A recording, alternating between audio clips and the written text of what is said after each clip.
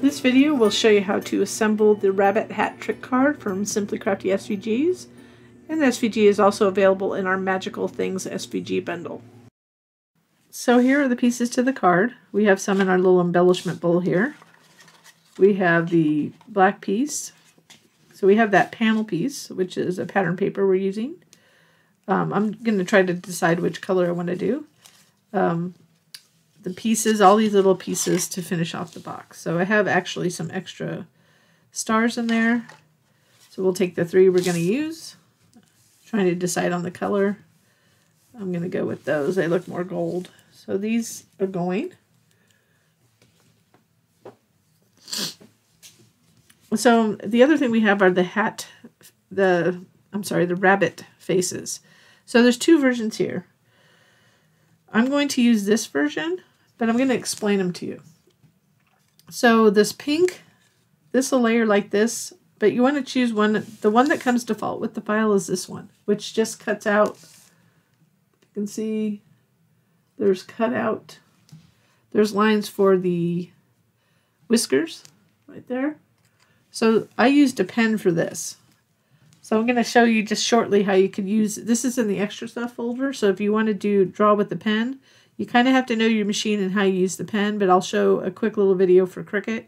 For some reason, Cricut doesn't um, place them as accurately as I like. So if you see this is the original file, this is where it places it, closer to the nose, but you don't have to do it manually that way. So I'll show you a little video uh, right now to show you how to set this up in Cricut, but uh, if you have a different machine that uses a pen, you can use this file. It's on a separate layer, so you can set it to a pen. So you could do that with ScanNCut and silhouette. So in Cricut, we just want to go into the extra stuff folder. We want to go ahead and upload. And I have a little window on the right from my extra stuff folder, pull that file in. And then you'll notice that the once you pull it in, that there's two layers. So with Cricut, you have to add to canvas and then we want to go ahead and change the layer for the uh, whiskers to pen and then you could change the pen type or it really doesn't matter as long as it's a pen. Then you need to attach it. So click attach. Otherwise it won't uh, draw it in the right place and then you can go ahead and make. Then it'll ask for a pen and then it'll also cut. And then when you continue you'll be asked on the paper settings that you want to use. And also, um, it'll remind you to insert the pen and the blade. So I went ahead and I centered this front panel. This is an A2 size card, so it's 4.25 by 5.5 inches tall. So um, just just uh, just be aware that I tried this dark one, which I liked, um, but it um, was a little bit too dark for the black cat. So just know a lighter background will work better. So we'll go ahead, just as we mentioned, you want to choose one of these. The one with the cut lines will work. You can always uh, highlight it with ink or uh, just pen out the uh, whiskers. But I'm going to use the one I had drawn on using the Cricut. But we're going to go ahead and start piecing this together. So we want to start with the stars. There's two larger ones and a smaller one. I'm going to use a pick-me-up tool, which is a silhouette tool to with a sticky end on it. I didn't have it prepared. So it has a little sticky on it. Pick up the star and place it. There's other tools like that out here there, there too. I just happen to have the silhouette version, which works well. It's full. It's I've had it forever. See all the little sticky stuff in it. You just kind of cleaning off the edge every once in a while. There is something to refill it, but I don't have that. I haven't had to, and I've had it for years. I think at that point I'll probably buy a different tool. The diamond dot one things work too. The one tools that you bring pick up diamond dots if you're into that. So the only thing I wanted to make sure is that uh, the texture side was up. You can't really see it that well, but but get those stars on. So the other side helps me move it around and line it up.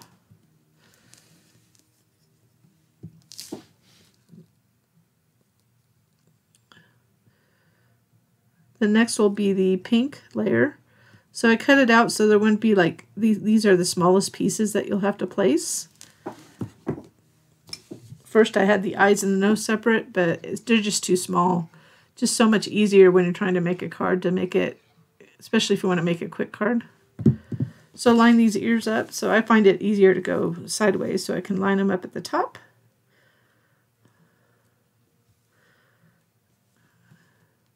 Slightly overlaps that one star there. That one I didn't get perfect, but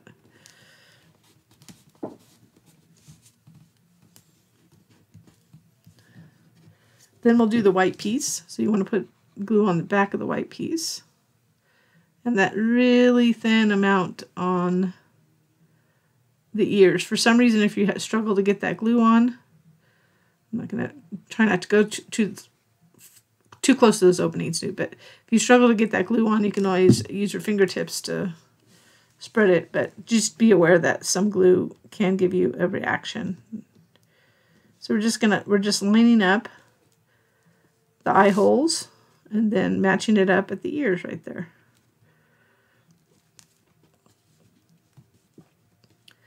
I decided this would be more of a kid type of of uh, card, so I wanted it to be quick to make. So originally was a box card design, but I changed it into this. That it was cuter this way. Then we'll put the red piece so if you want to line up the black piece on the top first before you put that red piece on, just to line it up well. Let's go ahead and put that on so we can pick it up and line it up around the edges. Try not to get glue on that red piece, but I did.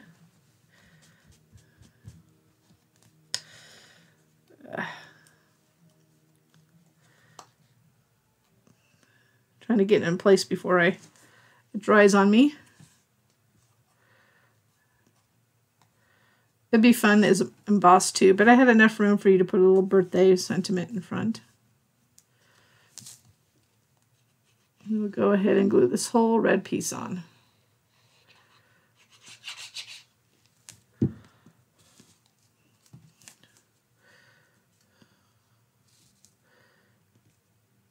Line it up using the top portions here.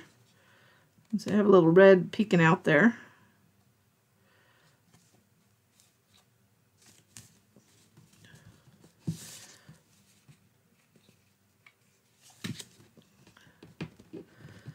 So what I'm going to do to to fix the red showing is to take my black ink.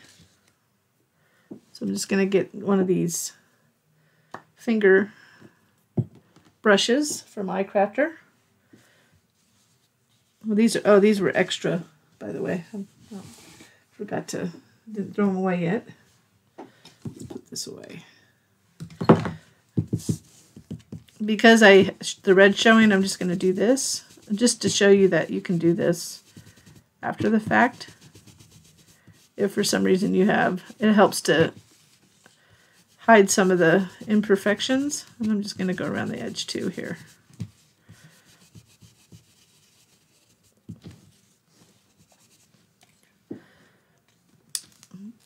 Then the last thing I want to do is, actually there's two things. I want to put it to the card, and then I'm going to add a little dot of white on the eyes. So the way this goes is like this. You see how those, that's the outline of the two stars? I guess some people call these edge cards before, they weren't called anything the first cards that I made. I made a gnome like this, but I wasn't quite sure. There's really no name to me. It was just a a card with an offset. But I guess they call them edge cards these days. You have to call them something, so it's kind of a style that's a lot of people got into. Just to line this up so it has a little edge of the pattern paper. These kind of line up into that middle area. There we go.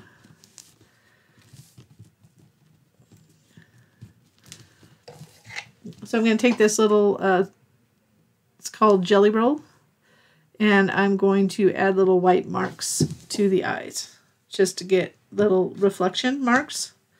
So before you do that, you want to make sure that your, um, just closing my thing, you want to make sure that your, your actual white pen is working well and flowing. So I usually take a, just take a piece of black. I have this extra black. You could do it with pencil too. But I'm going to do something like this, just in the eyes, real small. But I want to make sure that it was flowing before I did this. So if you want to do it in pencil, you can. It's harder on textured paper.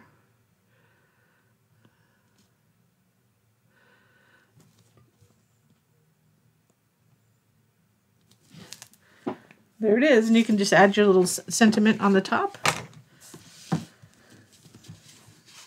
There it is, our little I thank you for watching and I hope you enjoyed this project. And until next time.